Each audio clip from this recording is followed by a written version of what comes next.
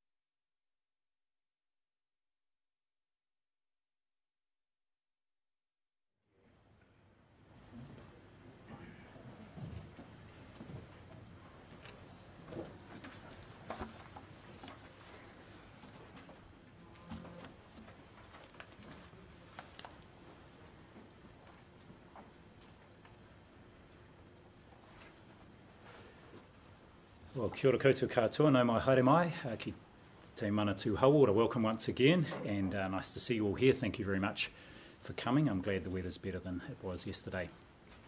So today I want to give a, a brief update on the Omicron outbreak, uh, what we think is going to happen next, and also an update on the planning we've done uh, for winter and how that's uh, happening, how that's rolling out. Also, I will outline the findings of an independent review we're publishing today into our PCR testing capacity during the early stage of the Omicron outbreak back in February. I've got Dr. Ian Town, the Ministry's Chief Science Advisor, with me, who's going to give an update on the uh, deeper analysis we're doing on our hospitalisation data and what that's showing. Uh, and just before I get underway, though, to note the Ministry's regular 1pm statement is just going out with today's case number. So, uh, for the first time in over 300 stand ups, I won't uh, uh, go through those numbers, I will let the statement speak for itself. So, what's happening internationally? Well, the number of new weekly cases and deaths is continuing to decline internationally.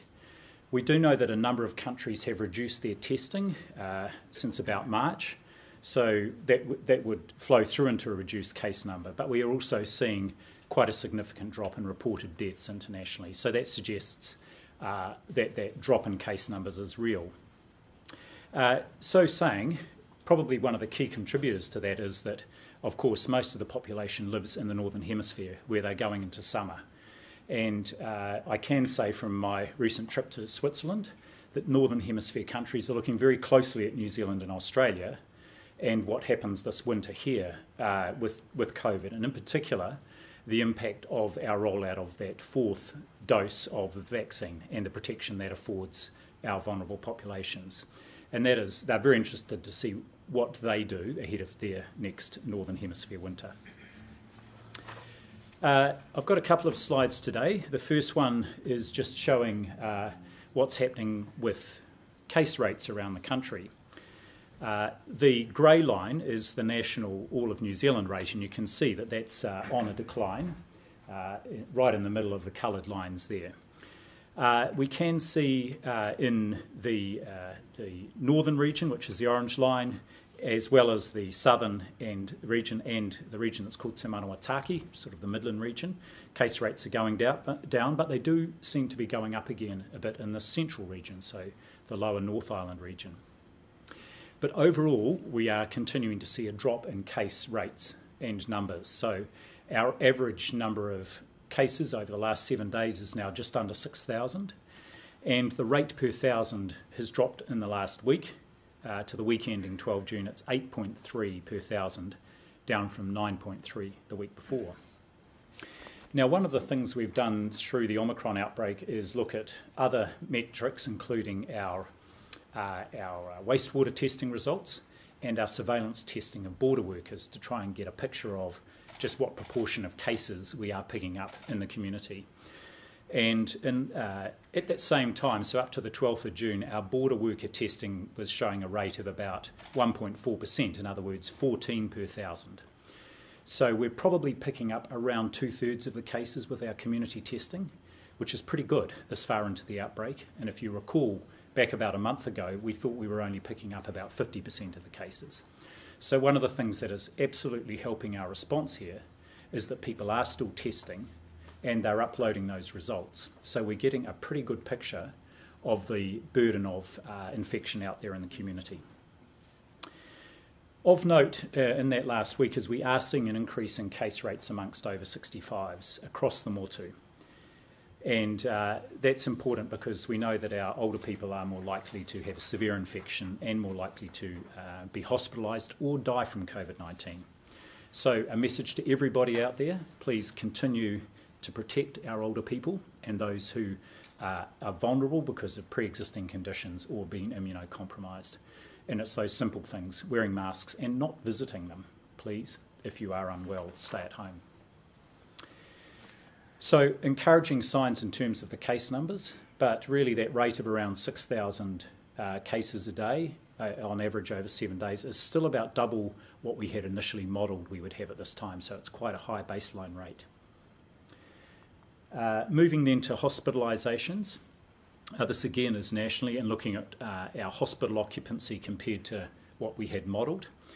Uh, we have seen it continue to come down, but very slowly, and it really levelling off at somewhere between 350 and 400 people in hospital on any day. So again, uh, about twice the number of hospitalisations that we had modelled a couple of months ago at this period. And of course, as you will have heard over the last week, uh, in a number of uh, places around the country, a very significant burden on not, on not just our hospitals but primary care. And interestingly, uh, only about 20% of people who are admitted at the moment to hospital with what we call SARI, severe uh, acute respiratory infection, only about a quarter, 20% of those people uh, have got COVID. Well over half have got influenza, and it's the influenza A type that is now quite rampant out in the community. So COVID's part of the burden on, on our system, but we have got these other infections.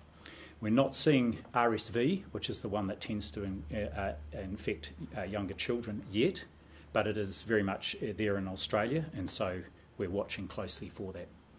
The other thing I would say about the, uh, the influenza A that is out in the community is our early data suggests that the subtypes that are in the flu vaccine this year in New Zealand are a good match for those subtypes we are seeing out in the community. So, yet another reason, if you haven't had your flu vaccine, and we're approaching a million doses having been administered, we've got over 2 million. They're much better in people's arms than on our shelves. If you haven't had your flu vaccine yet, particularly if you're in one of those vulnerable groups, please do it, and it's free for many people.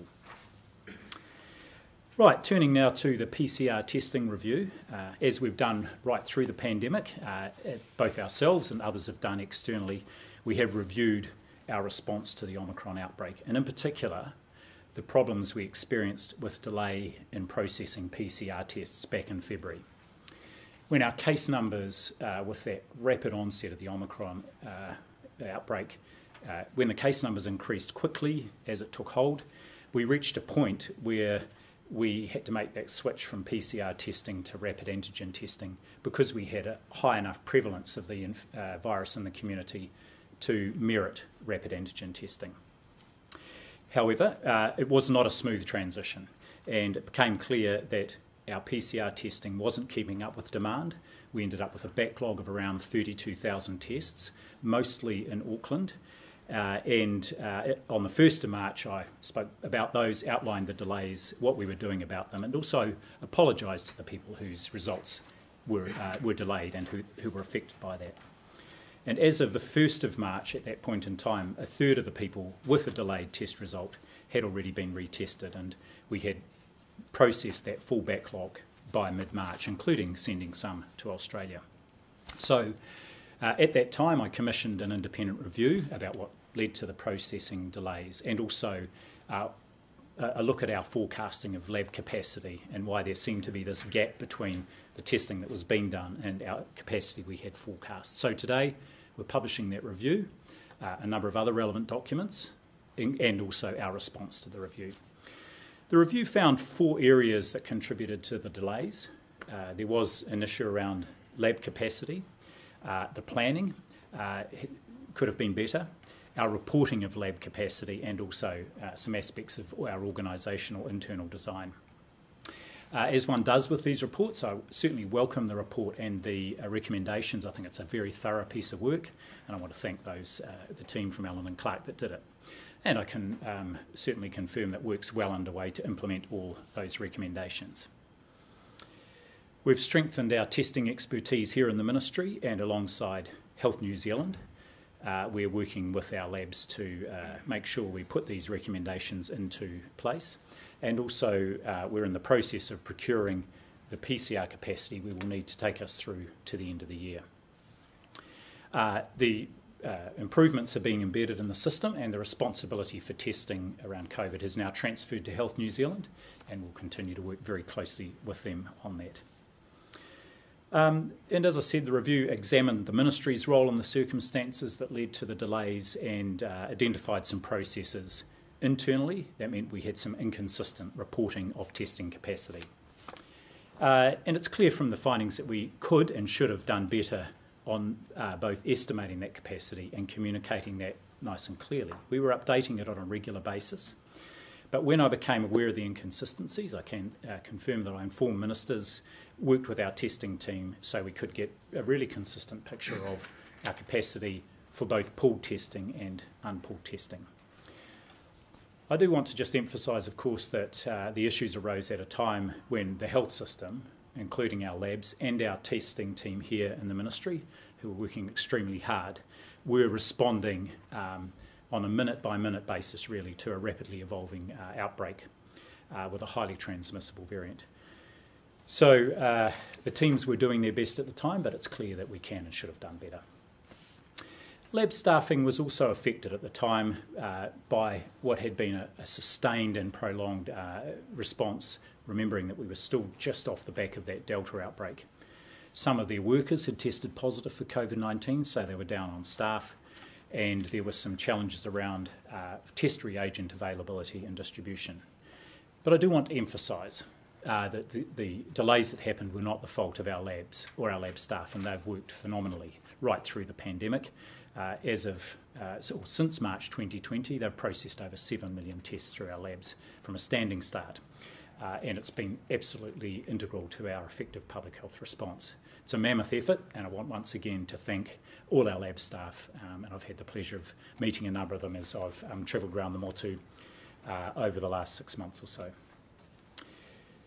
So, uh, as well as the PCR review, which is up on our website now with a range of other documents. We're also uh, releasing some other uh, reports that I know will be of interest. One, one of those is a review into our response last year to the Delta outbreak, which started last August and had all but uh, been stamped out actually by the time Omicron came along. We were down to just a handful of cases a day. That review was conducted late last year uh, and identified some areas for improvement around uh, a more equitable approach to uh, uh, supporting Māori and Pacific and disabled people, uh, about being more coordinated in our response, and also ensuring that we sustained our COVID 19 workforce into the future. Again, a really useful report. Thank you very, thanking the authors very much for that. It's being published alongside our response. Uh, there are some other documents being published, including two briefings by the implementation unit in the Department of Prime Minister and Cabinet about contact tracing and case investigation, and another one on testing. Uh, there's a briefing from the COVID 19 contin- uh, Independent Continuous uh, Review and Advice Group, chaired by Sir Brian Roche, uh, and that um, report was to the Minister for the, uh, the previous Minister for the COVID 19 response, Minister Hipkins, regarding the broader response at that time. Uh, actually, it's probably a good time uh, for me now to hand over to Dr. Town, and then I'll make some closing comments before we open for questions. Thanks, Ian.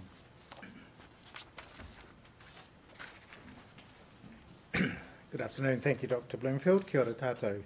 Today I'm providing an update on our hospitalisation data around New Zealand and also a few more updates uh, relating to surveillance and testing, which I touched on at the more detailed briefing we held here last week. So, a key part of being able to respond to current and indeed future outbreaks is having a clear picture of the impact of COVID 19, particularly amongst those who experience a more severe illness and require admission to hospital. So, over recent weeks, uh, in partnership with our colleagues in the DHB sector, we've been working to improve the collection and recording of information about people who've been admitted to hospital. Now, as you know, we regularly report about the number of people that are in hospital on any given day, but there is value, significant value to us in understanding the underlying cause of hospitalisation, how long they spend in hospital, and whether or not they require more intensive support, for example, in an intensive care unit. So the data I've got for you to share with you today is reasonably preliminary, but we will be working this up into more detailed reporting uh, in the weeks ahead. One of the things that we were aware of from our clinical colleagues is that when people are admitted to hospital, it's important to know whether or not they actually have COVID as the main underlying cause or a contributing cause, and our information, uh, the data suggests that that's around two thirds of cases whereas conversely, in about a third of cases, uh, the reason for admission is quite a different condition, and they happen to test positive for COVID during that time. So that's an important differentiation if we're considering the impacts of COVID on individuals and indeed the wider hospital system. Uh, in regard to vaccination, um, it shows the data shows that for those that have been hospitalised with COVID and are not uh, and are not vaccinated, the rate is about six times higher for the, those group who have not been vaccinated or boosted. It also shows that those who are unvaccinated when they are in hospital have a, have a more severe course of their illness and are about three times more likely to end up in intensive care as a result of that admission. Um, so that really underpins the Director General's uh, uh, call for everyone to continue to get vaccinated and, where eligible, have a booster. There has been a lot of publicity in recent days about the demands on our healthcare system more broadly and our hospital system in particular. There's no doubt that our hospitals are busy, and there are many people, as is often the case over winter, who are presenting to um, primary care and secondary care with acute respiratory illnesses. This is uh, a pattern that our hospitals are used to and occurs every winter. And as at the moment, a number of these folk are also presenting to our emergency departments as well as general practice and our acute medical centres. So we do acknowledge that at times there have been longer waits than we than would be desirable, and we're very conscious of the impact this has on patients and their whānau. We're especially grateful to our frontline healthcare teams around the country who are providing excellent support, along with our colleagues that uh, work on with Healthline at Whakarongorau. All of our DHBs have been very actively planning for winter and have a number of strategies and tactics in place to ensure they can manage demand and particularly prioritise those that require urgent care in a timely manner. And of course, continuing to deliver as much planned care as is possible uh, during the busy periods. So um, the Director General has already mentioned the flu vaccination, which, uh, as he notes, is appropriate for the strain that we're identifying both in Australia and here in New Zealand. So getting that flu vaccine is a key strategy to keep yourself well over the coming weeks. Now, last week you'll recall we talked quite a bit about the surveillance strategy and identified seven broad areas where we were working to keep up surveillance, particularly for new variants when they arrive here in New Zealand. One of the key tools that we use, and here we're working very closely, of course, with our science colleagues at ESR, uh, we're working to, to increase the number of samples that can be processed. And ESR and the laboratory teams around the country are increasingly using automation, using a digital platform to help with data sharing and sample identification so that we can keep up that timely assessment of those that test positive at the border, that's with the rapid antigen test, and then go on to have the PCR test, as we discussed last week. Those who are in high risk areas or situations, and of course, as I mentioned, we're routinely testing people that have been admitted to hospital with that PCR test and the whole genome sequencing. Last week we also had some discussion about the reinfection advice, and since that uh, presentation uh, last Thursday, we've been working hard with our public health colleagues and our laboratory colleagues to provide updated advice uh, in the near future, we hope as early as Friday this week. So, thank you, Dr. Bloomfield. I'll hand back to you and then we can take some questions.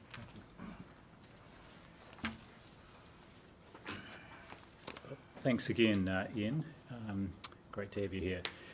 Just a couple of closing comments. There's no doubt the next few months are going to be tough, uh, and the health system can't do it alone.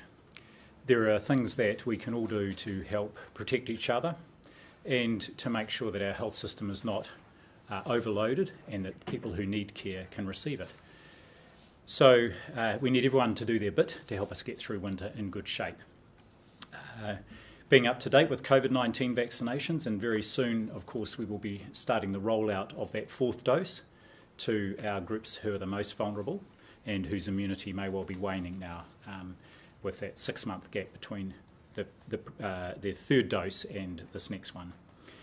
Wearing a mask. I can tell you, having been in Switzerland where there was not a mask to be seen, uh, that uh, it is an incredibly important thing that we can all do to protect ourselves and others staying at home, and in particular, not visiting people who might be vulnerable if you are unwell. This is fundamental to us, uh, not just getting on top of COVID, but as I've said, a lot of those winter illnesses out there now are actually influenza or other viruses. the action is the same. Please stay home if you're unwell, uh, and uh, do, do do a test. And if that test is positive or negative, please upload the result. It gives us a very good picture of what is happening out in the community so we can apply our health system and public health resources uh, appropriately.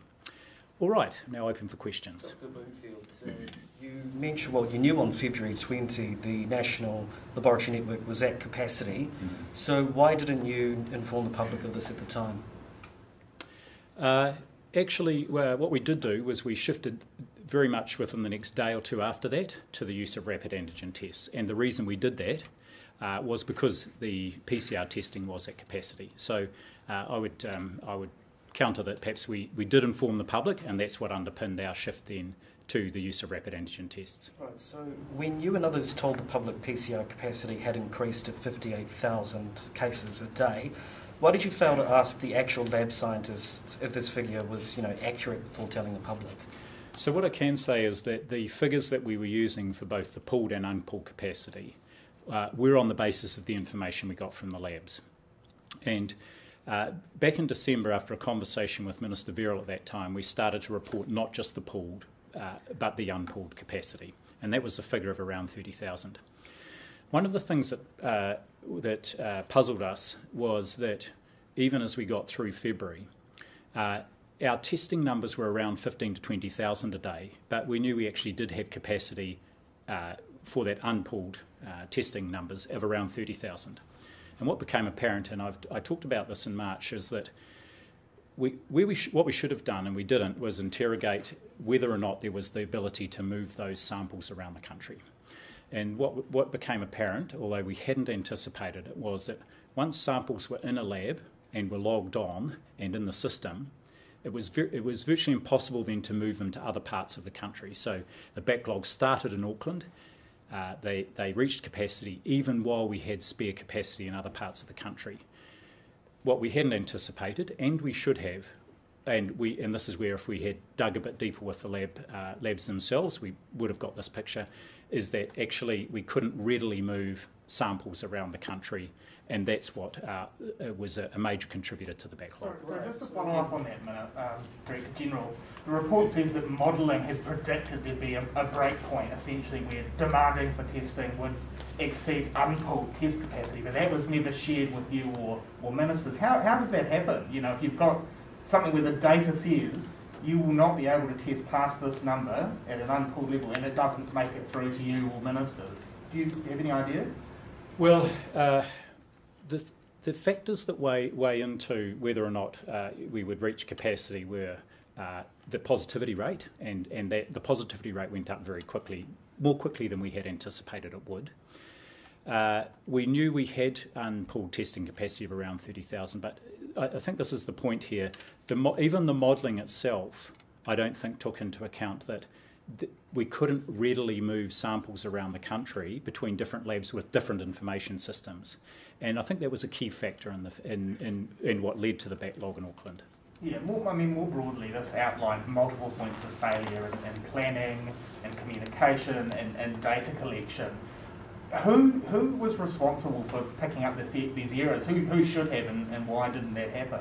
Because it's across the board, it's not in any one part of the system. Well, that's right. And so, uh, for my part, you know, I'm, I'm, responsible for the system, so that's why I was uh, the person who fronted the the uh, um, uh media stand up on the first of March, and first of all, identify that we did have the problem, and that's why I commissioned the report, because it's only by doing that deep dive that we can identify actually where the where the areas were that we should have done better. Right. The um, National Institute of Medical Lab Technicians they say the ministry essentially well, ignored them and refused to have them at the decision making table. What do you say to that? Uh, I'm not sure that's what they're saying actually, because we were meeting on an almost daily basis, and I myself uh, was present in some of those meetings with, with the laboratories, and actually we've got a very good relationship with them. Uh, so I think uh, one of the issues that the, the labs uh, has pointed out, uh, the Lab Society has pointed out, is that um, uh, there are long-standing issues around the, uh, the sort of the delivery of lab services in the country, and some of these, of course, became very stark and acute uh, when we hit that uh, Omicron outbreak and the pressure ca- really came on the system. But I think, uh, you know, I just want to reiterate the relationship is very good. It, it has been throughout the pandemic. The labs have done an excellent job, and it's it's continued to strengthen. So millions have been kind of allocated to improve testing and lab capacity over the pandemic. Um, so where has the money gone, and why has you know five percent of the lab workforce left the profession? Well, I can't speak for why the lab workforce has left the profession, but I would make an observation. These people have been working incredibly intensely uh, right through the pandemic, and certainly whenever we had an outbreak, you would see the testing uh, volumes would go up incredibly rapidly, and people were working very long hours to process all those tests. Uh, there will be a range of reasons why people have left.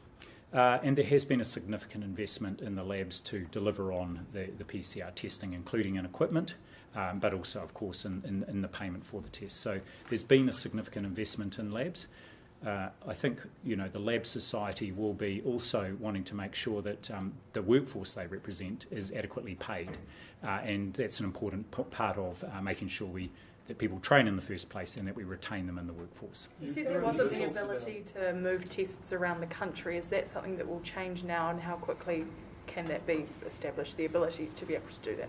There was some ability, uh, particularly from, from our major lab provider, which has got labs across the country, so that's uh, Asia Pacific Health Limited. The key point is that our labs have different information systems, and one of the uh, uh areas that we're going to have in our new contract with the labs is to make sure that we can that they can interface their information systems with a national database so that will uh, improve our ability to move samples around in the future. You've said that um, there needs to, well, that one of the responses is that there needs to be a new funding model or that you're looking at a new funding model. Um, how would that work? Do you envisage people eventually paying for COVID tests uh, at the level of the individual? Uh, there is no intention to introduce um, charges for COVID testing, and, and laboratory testing is um, largely free in New Zealand. Um, most tests are freely, are freely available. No, there are two aspects to um, two key aspects to the contract that we want to put in place from 1st of July. First of all, um, uh, our labs set themselves up with a large capacity. Now, there's some debate. It's in the um, it's in the report about just what that capacity might have been, but they were doing at the height of the Omicron outbreak, tens of thousands of, of tests a day. And of course, once we shifted to rapid antigen tests, uh, that volume dropped away and it's now much lower than that, a few thousand a day. So, what we're wanting to do is, first of all, contract them to continue to deliver that, but to have that latent capacity to be able to scale up if needs be. Mm-hmm. The, second th- the second aspect of that, and I'll come to you, uh, Sam, is uh, we're expecting more of them with the tests they are doing, so there's more complexity. We've got, um, we're testing everybody who's coming across the border. We're then asking people who return a positive test to get a PCR test. We're asking our labs to identify all those people and send all those samples uh, to ESR for whole genome sequencing. And so we are wanting to recognise the extra effort and work that's happening there. So the contract will be about uh, ensuring we can um, recognise the current costs of, of delivering PCR testing, but that there is that capacity in the labs to scale up uh, if or when that is needed over coming months. So. just related to that, I mean, at, at, a higher level, do you think private provision of, of, of testing services of these labs is actually the way to go? There seems to be quite some tension between certainly the unions, I think, representing workers about the conditions, and they attribute that in part to privatisation. Do you think a public model might be more appropriate and might have stopped some of these issues cropping up? A fully public model, I should say. Well, we've got a mixed model in New Zealand. We have um, historically most of our community testing has been private, and most of our testing, hospital-based testing, has been public. There's there's a mix. Uh, I don't have a strong view either way on this, um, and I think that. You know, again, if we look at the role that our labs have played and that testing has played in New Zealand's response to the outbreak, it's been you know, fundamentally um, successful. Uh, our ability to ramp up PCR testing capacity across both public and private, their willingness to work together, um, and uh, certainly their willingness to engage in the discussion about this next phase as well. So I think that's a longer term question about what the mix will be, and it applies not just to labs as well, it applies to other areas like radiology and uh, the provision of surgical services too. Could this have been avoided if we had enough rats in place, as in when we needed them? Uh, there is no doubt that at the time Omicron outbreak hit New Zealand, uh, there was a worldwide uh, challenge around getting rapid antigen tests, and we were, we were getting them in at that point in time. And by the third week of February, we certainly had enough to make that switch across to rapid antigen testing. Uh, I don't think it was. It's hard to remember, but I don't think it was material in terms of that um, timing of the shift. It was really just a matter of a few days, uh, and uh, you know we didn't quite get it right. But uh, it's very clear now that we've got good supply of rapid antigen tests, and, and I do want to just um, reiterate that point that it's um, both remarkable and pleasing to see several months into this outbreak the extent to which New Zealanders, if they're symptomatic, they are testing and they're uploading those results uh, to a greater degree than I think is happening in any other country. So we've got a much better picture of the uh, of the outbreak here in New Zealand than other countries do. You said before you introduced rats early, but you knew on Feb 20, so labs were at capacity. Uh, you failed to tell the public this, and yet politicians told the public on Feb 25 that everything was going well with lots of capacity. Why didn't you set the record straight earlier? Well, uh, we were, uh, and, and the politicians on, on February the 25 were making statements based on the information we had at the time. And the information that we had was that we still uh, were confident at that point that we had capacity up to 30,000, and our testing volumes were only about two thirds of that. So we were working hard with the labs to do the things that I've talked about, and that is to move tests around the country so that we could use the full capacity. And it was over those days that it became apparent that actually it wasn't uh, possible to move them to the extent that we needed to. And the review talks about a new operating model for lab testing. Does this mean the ministry will be overhauling the way it works currently? Uh, that's just referring to the um, the uh, the recontracting we're going to do with the labs from July through to December, recognising the extra work they're doing now and also maintaining that uh, that capacity in case there's another surge that we need to deal with. On a slightly different topic, a question for Dr. Town or Dr. Bloomfield. If uh, someone is tested positive for COVID, their seven days are up, their symptoms are gone, but they decide to take another test and it's positive, does that mean they're still infectious? Good one for Dr. Town to uh, to respond to. I've had this experience myself, so I'll be interested to see what the uh, Chief Science Advisor says. Yes, thank you. Um, this is a, the matter of considerable interest, I think, because there has been, I think, some potential confusion about our initial advice, and as I mentioned, Mark, we are looking to update that advice uh, in the coming days. So we have prepared some advice which has actually gone to the Director General and will be discussed by ministers in the coming days. You're right that because there is access to free access, everyone has got the rapid antigen test. It is inevitable that they will retest if they if they have symptoms, and so we have this difference between the 28 days and then the, the days that follow. So we need to line all that advice up, and we need to provide that to our colleagues in general practice, Healthline, and so and so, and then we'll bring it back to um, future announcements, hopefully on Friday, as I mentioned. Even putting aside the reinfection issue, mm-hmm. though, if, if, someone is, you know, essentially still in, if they, would they still be infectious after seven days? Their symptoms have gone away, but they're still testing positive on a rat. From what the sort of independent experts I've spoken to have said, yes, they're still infectious, but under the ministry's advice, they're allowed to go to work, and we're getting lots of lots of people are saying their employers are making them go to work while they're still probably infectious. Yeah, so if the if the if the rapid antigen test is still positive, that means there is viral material uh, that is being detected by that antigen test. Uh, we know from the PCR tests, of course, that that test can go on and be positive for weeks or even longer. So we need to line up that advice to make sure that the, the, the public health protections that are in place around isolation are clarified, and we intend doing that this week. So, so if someone's employer tomorrow is saying you should come in, your seven days are up, you know, on, on Tuesday, you're not, you don't have symptoms anymore, I don't care that you're still testing positive, should they wait until their employee has actually tested negative before asking them to come in? Well, I might need a bit of help there, Director General. What, what I guess the first comment I would make is there's nothing special about seven days. You'll recall that previously it was 10 days, and prior to that it was 14 days. So after seven days, there will be some people who are still infectious. And some of those people will, return a positive rapid antigen test if they do it, and some of them will return a negative test. I think the important thing is here is if people don't have acute symptoms, they're much less likely to be spreading the virus. That's the first comment I would make. Second is we don't ask or require people to do a sort of an exit test from their seven day um, isolation, and the reason for that is because of this. Uh, there will be some people who are positive, but they may not be shedding virus and infect, able to infect others. There will some, be some people who will return a negative test if they do one, but may still be infectious. So here's my advice even after your seven days, be careful. You are not required to isolate, in which case, then, yes, if you're not symptomatic, you can, and it's certainly within your employer's rights to ask you to go back to work. But keep wearing a mask.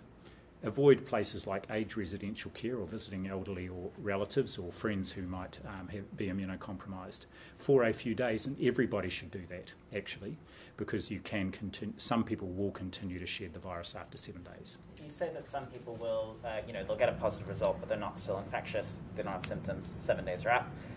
How many people is that? Do you have a sense of? Is that, you know, is it a 50-50 chance or is it a one in a hundred chance? Uh, we did do some modelling of this when we shifted from 10 to 7 days. My recollection is it's a few percent of people will still be infectious after 7 days, just as even after 10 days there will be an even smaller percentage, but there will still be some people who are infectious. So it's a, it's a relatively small proportion of, of people who will still be infectious after 7 days. But, but a, rule, a good rule of thumb, and this applies to COVID and of course flu or inf- anything else, if you are still acutely symptomatic with a runny nose or a cough or a sore throat uh, or a fever, then assume you are still um, uh, you still have an acute infection and could well be infectious and stay home. But of the people who have tested positive after their seven days with no symptoms, how many of them are likely to still be infectious? Do you have a sense of that? I don't have a sense. I'm happy to uh, come back on that. We can have a look at it. Can I ask how your personal infection with COVID 19 uh, went overseas? Uh, I had a, very fortunately a very mild Swiss version of the uh, of the virus, uh, and uh, got to know the inside of my hotel room very well. But thanks, thankfully, mild symptoms and. Um, uh, back back to 100% again today, but that's not everybody's experience. And some of you may have had COVID, um, and uh, I think many people, many people who are fully vaccinated and otherwise well, do experience um, ongoing uh, fatigue for some time, uh, and also what this this brain fog, uh, which is a you know a really a, a real thing. But thankfully for me, uh, mild uh, illness, and I was able to get back to New Zealand, which I'm very pleased about. as you invited Dr. Carter that, that uh, you, you alluded to um, perhaps testing positive for quite some time afterwards. Is that, was that what you were alluding to? I had the interesting experience of returning a negative pre-departure test in Switzerland, uh, which is how I got back, um, and then a few days later, um, with a much more, uh, uh, what I would say, um, following the instructions around the swab, uh, returned a positive test uh, here. I wasn't back at work by that point in time; I was only at home. Um, but I dare say, um, and I think I've had this ex- uh, expressed by others that. Um, uh, in other countries, when you're getting a, a swab, that it, it's a it's a fairly gentle swabbing, um, I would say. And it, what we are seeing here is that people are following the instructions. That's why we're getting um, a good positivity rate from our um, from our RAT tests here. You talk about preventing um, healthcare overwhelm, but we're already hearing that you know EDs are overloaded, electives are on hold, and GPs are you know three week waits for them to see people to see, see their doctor. How is the health system not already overwhelmed? Uh, well, the health system is under a lot of pressure. It does um, uh, it does wax and wane a little bit. For example, I was on Friday down in Dunedin uh, visiting the DHB there in the ED and on the COVID ward, uh, as well as in the ICU. They'd had a really um, uh, a lot of pressure earlier in that week, but it had eased off again later in the week and things were more manageable. This is normal, as Dr. Town said. We do get these waves.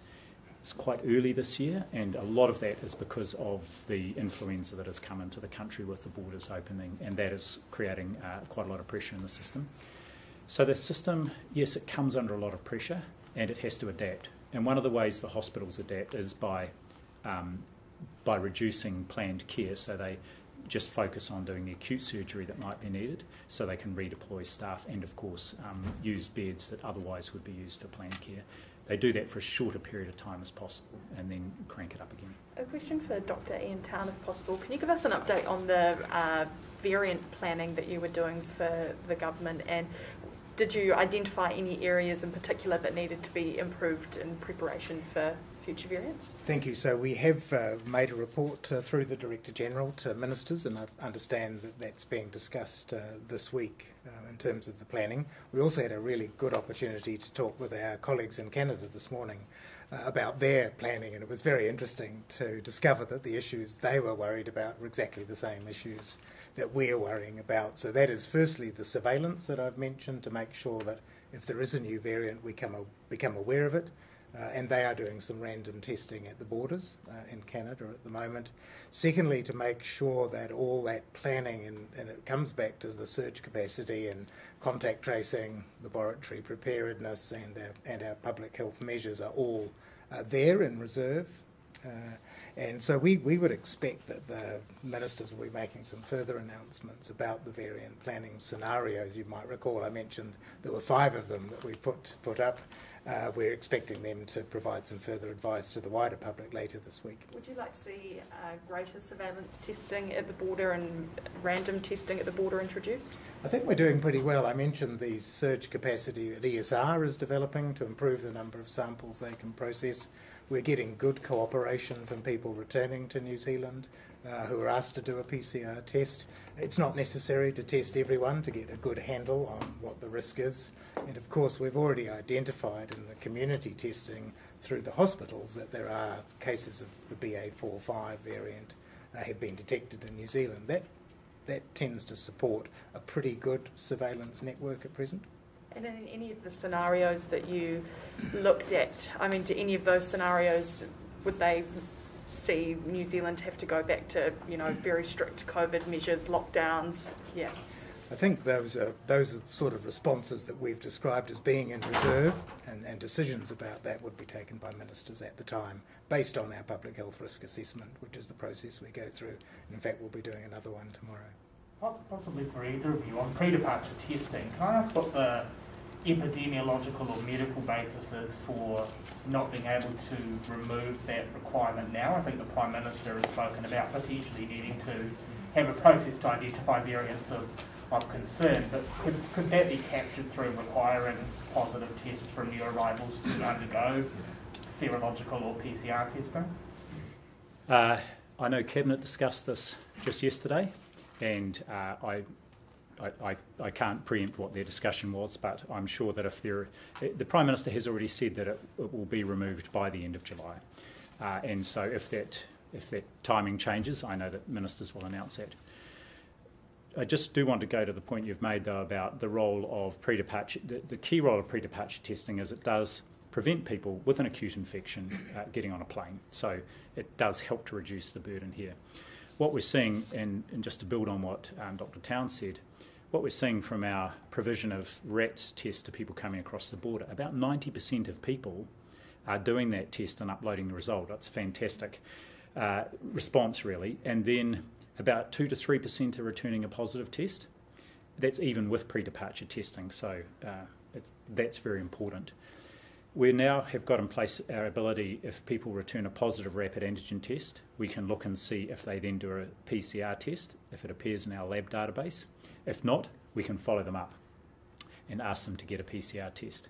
At the moment, we're seeing about a, th- uh, a third of them are doing that, and then those are going through to ESR for whole genome sequencing. So we're getting several hundred samples a week, and uh, as you're aware, we're seeing the BA2 12.1 variant in particular, the BA4 and 5, and we're detecting those in the community now in very low proportions. Uh, most, most of our uh, virus in the community is still the BA2 variant. Final comment on that. It's still early, but WHO's current assessment is that the impact of those newer subvariants of Omicron is less if the infection in the community has largely been the BA2 rather than BA1 subvariant. Uh, over 85% of ours through the Omicron outbreak have been BA2. So our hope is that puts us in a better position.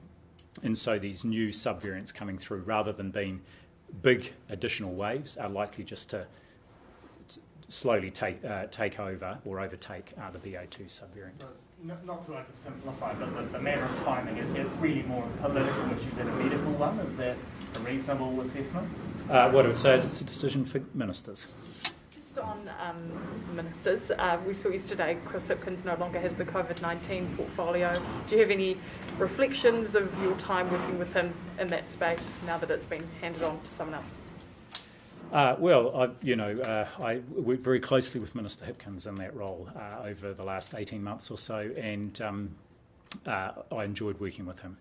Uh, likewise, Minister Verrall has been an associate minister for the COVID-19 response and has become, you know, increasingly involved in the work, and she's now picking that up. And of course, uh, she brings to that role um, her, her background as an infectious disease specialist as well. So we'll look forward to working closely with her through this next phase. A colleague in Southland tells me Gore Hospital is closed to visitors because of an influenza outbreak. Can you, how is the ministry supporting smaller rural hospitals who are dealing with influenza on top of helping public hospitals manage COVID cases? Yes, so um, I wasn't aware of that, but this would be something that you, you might do in not just a small hospital, but if you had an influenza outbreak, for example, on a ward uh, in, a, in a hospital, you would close that ward as well to visitors. So that's not unusual. I do know, again, having been down in, um, in southern DHB in Dunedin just on Friday, that they're working closely with, with their rural hospitals as well to support them uh, if they have outbreaks. And as you pointed out, um, it's at the moment more likely to be flu rather than COVID. Uh, any final questions? If not, I think we've had a great session. Thank you very much uh, to everyone for coming up today.